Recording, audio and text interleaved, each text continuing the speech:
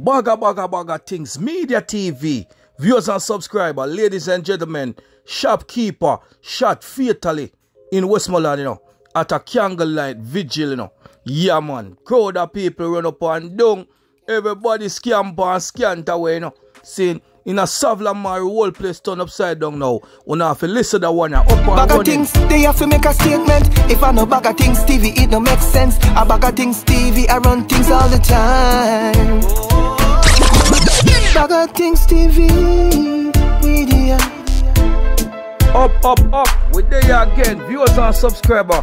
Crime scene, yellow tape, forensic report. The Savlamar police have commenced a probe into Thursday night shooting death of a female shopkeeper at a candlelight vigil along Darling Street in Westmoreland. The deceased has been identified as 28-year-old Chantal Hunter of Darling Streets. Seen?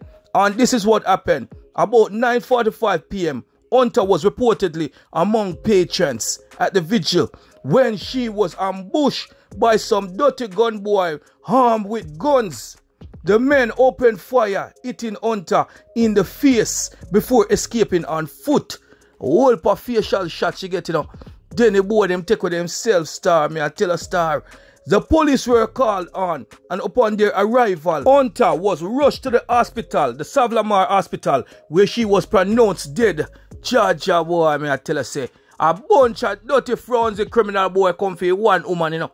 You know, want tell me say them a boy and a turbo man is a must eat that them put upon the woman, you know. And the dirty frownsy criminal boys then come for our viewers and subscriber. What a wickedness in a jam down boy, me I tell you. Right now, me I tell you, we are move on to the second one. Painful birthday, you know. Mom said Donna Lee had promised red carpet treatment for her 50th birthday, you know. So right now, that girl can never ever carry out that for her mother.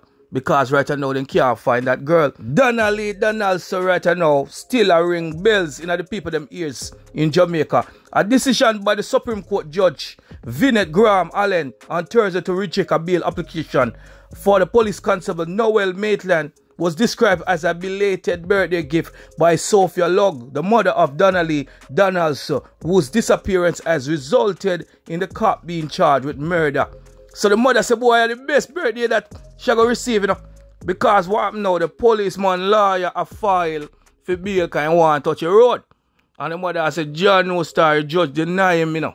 Deny him bail. So the mother said, boy, thank you, Jesus, judge, for not giving no bail. And you know, so I tell the police to stay away in there. Right now that the police in can't be safe nowhere in a Jamaica. Oh, me see it right now. Me the advice him to stay away there because the amount of people will want that the Monday. Remember and picture they all over and everybody know him. You know? And what for people not like what go on.